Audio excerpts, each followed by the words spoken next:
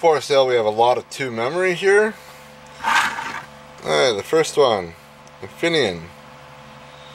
It is a 64 megabyte sync, 100 megahertz CL2 PC100 222620.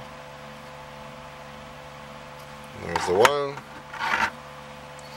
And this one here, we go nice and slow.